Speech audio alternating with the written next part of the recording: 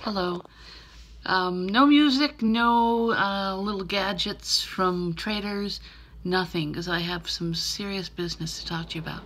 And I've already recorded this, and I did Trader Joe's stuff and spices and, and a little, I might even read my word of the day, but I'm not going to do cards or anything, um, because I want to get down and dirty. I have some really important information for you.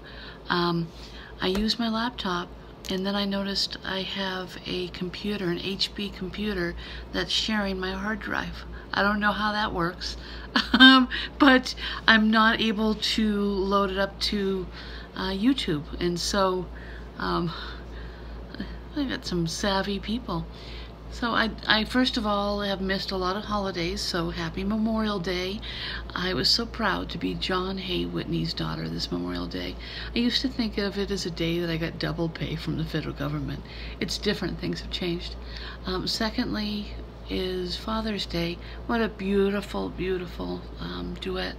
I cried. I was um, wondering why you hadn't done it before, and it turned out beautifully. You must be proud. proud. And then there's, uh, let me see. Oh, I I loved your. You've got some new music, and I love the just when you think you got it all figured out. Um, you know, lots of the songs I can see that music is very important, and you can speak through it. So uh, this one's for Tim. Uh, remember Helen Reddy? That ain't no way to treat a lady, no way. Um, mm-hmm. I got some news for you.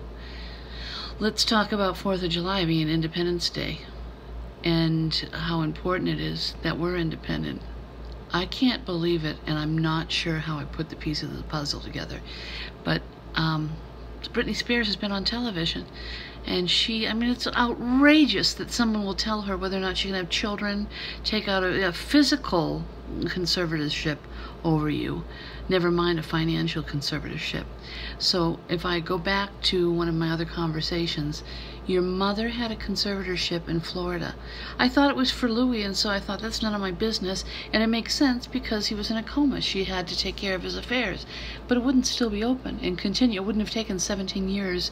Um, they have placed us under conservatorship without our knowledge without any medical exams, without any doctor's visits, without any court hearings. I don't know how they could have done it, but I was, when I saw Britney Spears, I thought, how could that be? And I was wondering how they were stealing our money, how they could do that behind our back and not get caught. How, how could they? Well, they, they're, they're pretending that they have every legal right to manage and handle our bodies and our money. So, it was clear to me because I already told you this story that I had my teratoma removed. And I told the doctor not to remove the other ovary, um, that I still was at childbearing age. And going to have more. I might. I, I'm interested in having more children. I thought I'd have four, um, you know, in my, when I was busy making plans, and then life happened. And so, um, I told him, and if you had to remove it, I would want to talk about freezing eggs. So I wake up and he's removed both ovaries and I no longer have a reproductive system. I remember thinking, how dare he make a decision that important for me? And then I realized, no, probably the conservator over my body said, she's 40 something, go ahead and, room, you know, they had to consult them. There must be flags on our health insurance um, so that they have to contact us. And the other thing that it brought up was um, when I was in New Orleans trying to meet you and I got run off. Um, I remember being at a doggy park next to a church and there was a, a judge and, and, a female attorney. She had just argued some sort of um, Supreme Court case. And I told him, oh, I'm, you know, singing the, singing the can't meet my sister blues. I'm, I'm trying to meet a twin sister uh, that lives here. What's her name? Lena Prima. I think she says, I think I, I may have done a case for her. Isn't she sort of uh, not altogether there? No. She's a, a, professional singer. She's written books and she, you know, makes jewelry and leads a band. Uh, no, no, she's not. Ah, well, I. And then I thought, someone has convinced a judge that we're both completely incapable of handling our bodies and our financial affairs. And they've done so so they can have complete control. So when your mother passed, it must have passed to Louis. The reason I'm telling you this is because he's just recently moved to New Orleans. He did that because I said that Frank Savannah couldn't be the personal representative living in a different state. It doesn't work that way. Um, and so Louis like, you know, or someone said to him, get your A into New Orleans where you're going to bust us all. Um, and so either he filmed from New Orleans and says he's there to cover his butt, um, but he's got a lot more covering he's got to do. They're busted. So unless you're okay with a moron like your brother, you know, an alcoholic, coke using, um, he's got lots of speeding tickets and uh, lawsuits. He doesn't pay his bills. He's had foreclosures if you think for a minute that I would want someone inferior to me, intellectually and in every way, um, to be handling my financial affairs, you got another thing coming. I had to tell you, I've been stirring on it. I, in some ways, didn't want to um, tell you over the internet. I want this to be um, received in a way that it doesn't trigger things.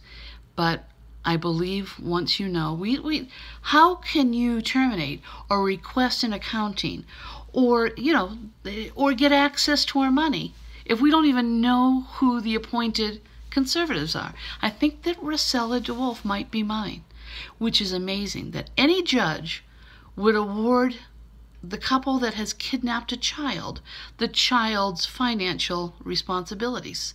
They must have, you know, either pushed in a mentally retarded person into the courtroom and said, "Yeah, I mean, she's can we take her out? She's eh, she's not capable of." And the judge would immediately say, I, understand, and then go through with it. I don't know who they presented, what kind of paperwork. I've never gone through any exams, psychological or physical, um, that would be connected to a uh, custodianship.